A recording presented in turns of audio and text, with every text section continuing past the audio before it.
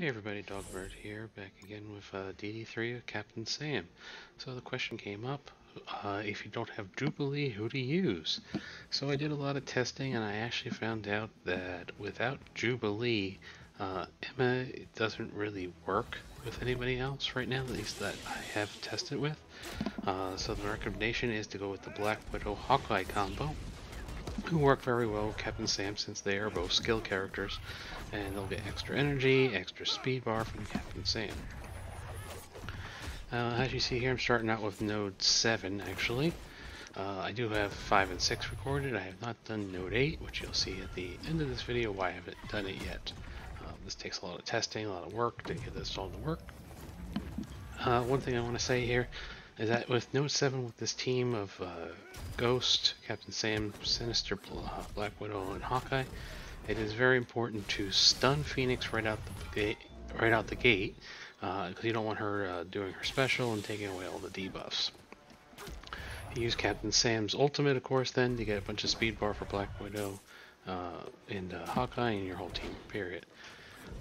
Uh, then you want to use Ghost's uh, ultimate to help extend that stun then as soon as you can. After that, it's pretty easy. Uh, you just end up cloning a bunch of phoenixes. I actually end up cloning a bunch. I clone a Shuri when I get a chance. Uh, I think that was the only clones I did. Uh, just Phoenix and uh, Shuri. Just to help me get through this node.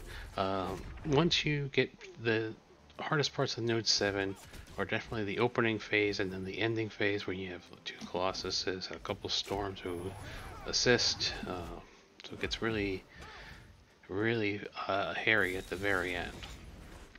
But as you can see in this video, the other problem, you have to kind of watch Hawkeye. Uh, he's very squishy, uh, unlike uh, Black Widow, who is mostly in stealth half the time.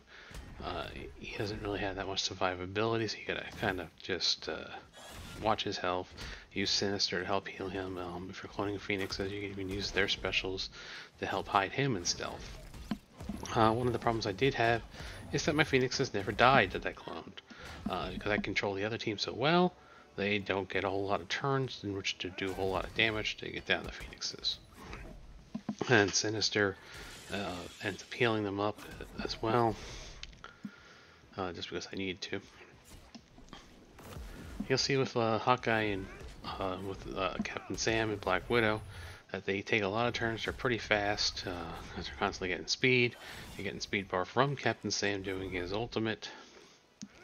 You're getting energy uh, not just to them but to the entire team to help out with uh, Sinister's cloning with his uh, taunt special. Uh, this is a lot of help to people who maybe don't have Jubilee yet.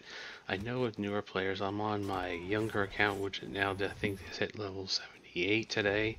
Um, is in DD3 but has not attempted the global yet. I'm still building up the team. Uh, that's one of the problems that would be with this team is unfortunately you do have three skill characters and I know the gear is not the easiest to come by the gear 14s when you're still newer. Uh, the reason for this being like some of the pieces for skill are at the end of the Doom raid, uh, Doom campaign, sorry. And getting their roster built up wide enough to do the Doom campaign to get those 14 pieces is not the easiest thing. So you're reliant upon whatever happens to uh, come up in the supply store or whatever happens to come up in the war store. And you even have to buy some of the 1000 war credit orbs, get some more 14s that ends up becoming your problem. Unfortunately, you really want to kind of go out to the 15th because you need a ton of those once you want to go to DD4 which is more valuable than DD3 because then you get at least you get Doom, you know, you get a bunch of more rewards. But you had to do DD3 really to get the DD4 to get to have enough orange gear to uh, help supplement those gear 15 pieces you need. And you need to build up the right characters anyway, so. Uh, well, I hope this helps answer the questions. I'll upload the other two videos of Node 5 and Node 6, and once I get to it, I will I'll upload uh, Node 8 with this team. Uh, I'll see how they do. Hopefully it's another one-shot. Um, you will see at the end of this video, I just barely get through this Node 7, but it is a one-shot, thankfully. Uh, until next time, friends.